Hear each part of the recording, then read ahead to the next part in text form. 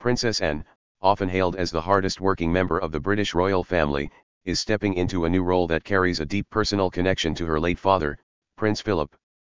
Known for her tireless dedication to royal duties, the Princess Royal has accepted the presidency of the prestigious In & Out Naval and Military Club, a position once held by her father. With this new responsibility, Anne continues to build on the legacy of service that has long been a hallmark of her public life. What do you think about Princess Anne taking on this role?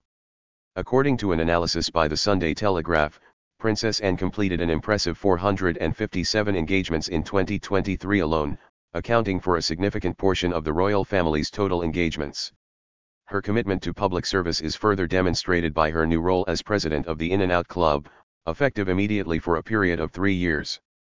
The club has been deeply tied to her father, who was a member since 1947 and served as its president from 1979 until his passing in 2021. Is this a fitting tribute to Prince Philip's legacy? The bond between Princess Anne and Prince Philip was well known, as the late Duke of Edinburgh had a particularly close relationship with his daughter.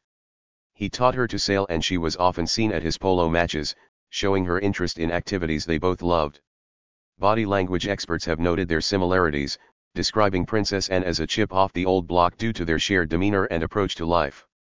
Could this connection explain Anne's continued dedication to roles that honor her father's memory? Beyond this new role, Princess Anne holds important military titles as a general in the army and an air chief marshal in the RAF, demonstrating her versatility and leadership.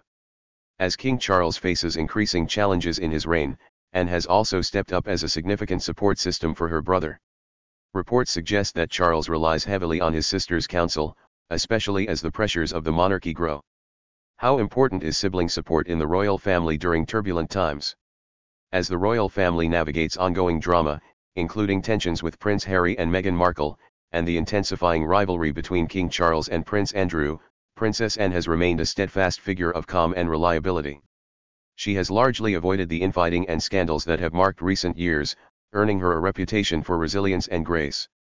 Does this make Princess Anne the most stable figure in the royal family today? While Princess Anne has faced her own personal challenges, including her divorce in the early 1990s, she has handled these moments with dignity, avoiding the spotlight of controversy. Her ability to maintain a steady public image, even during difficult times, has only increased her standing among the British public. Could her approach serve as a model for how the royal family can navigate future crises? As Princess Anne steps into this new chapter, her commitment to duty and her father's legacy continues to shine through. Her new role as president of the In & Out Club and her unwavering support for King Charles underscore her importance within the royal family. As she takes on these responsibilities, many will be watching to see how Princess Anne's steady leadership influences the future of the monarchy.